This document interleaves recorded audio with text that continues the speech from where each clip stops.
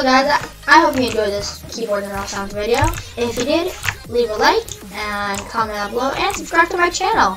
And I'll definitely do more of this. This is really fun. I did one last time and it did really well. So can can we get this one to be really good? I hope so. Um, if you guys enjoyed, uh, again, um, hit the like button, subscribe, comment, and have the best day of your life. And see you guys.